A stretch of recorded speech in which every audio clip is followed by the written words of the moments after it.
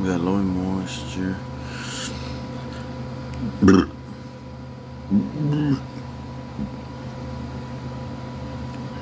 Good source of pro uh, protein, calcium. Mozzarella cheese from Publix.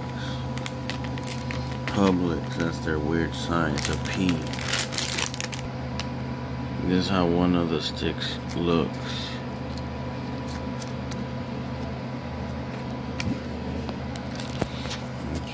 Let's let's try it out now.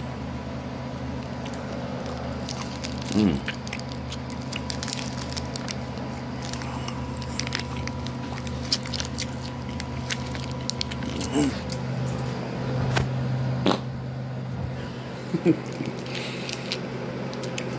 That's not bad.